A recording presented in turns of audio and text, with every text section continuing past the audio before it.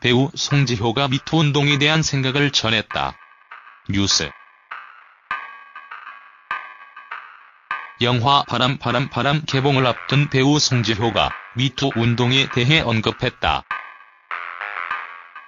송지효는 28일 서울 종로구 팔판동 한 카페에서 진행된 인터뷰에서 미투 운동이 일어날 수밖에 없는 상황에 속이 상하고 마음이 아팠다고 말했다.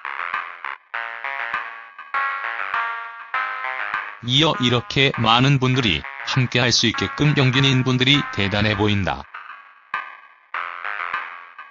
용기에 감탄했다. 사회가 많이 바뀌었구나 하는 생각을 한다고 덧붙였다. 또 송재효는 사회 약자분들이 더 이상 피해자가 되지 않았으면 좋겠다.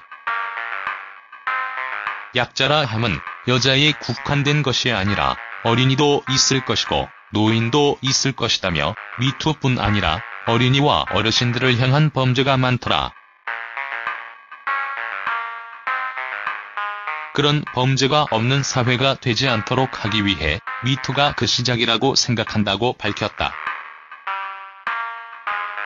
바람 바람 바람은 20년 경력을 자랑하는 바람의 전설 석근과 뒤늦게 바람의 세계에 입문하게 된 매제 봉수, 그리고 SNS와 사랑에 빠진 봉수의 아내 미영 앞에 치명적인 매력을 가진 제니가 나타나면서 걷잡을 수 없이 꼬이게 되는 상황을 그린 어른들을 위한 코미디 영화다.